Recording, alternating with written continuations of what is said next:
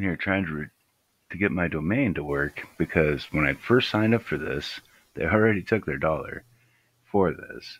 I'm not mad about the dollar. But what I am mad about is watch, okay? I already have the domain, see? It, it's an option. I press no. I don't want to transfer it. It won't let me press continue. Okay? I don't want to transfer my domain to them because if I can't afford to pay it next month, they get to keep my domain. You see what I'm saying? I don't want that. So, I'm I'm not paying $7.99 for a domain that I already own. They can fuck off.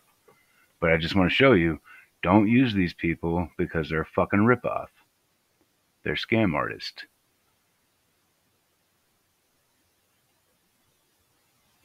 What did that say? Yeah, see, they already took their payment.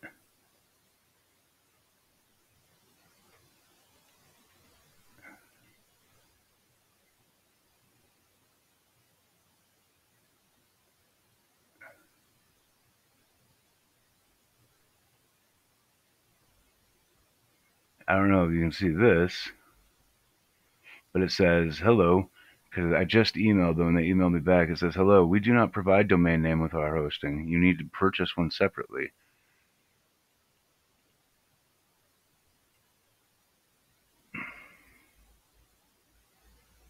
And I already own one, so that's what I don't understand. Why are they trying to make me purchase another one?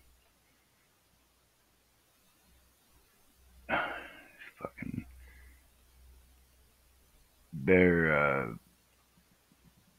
I want to say they're from India.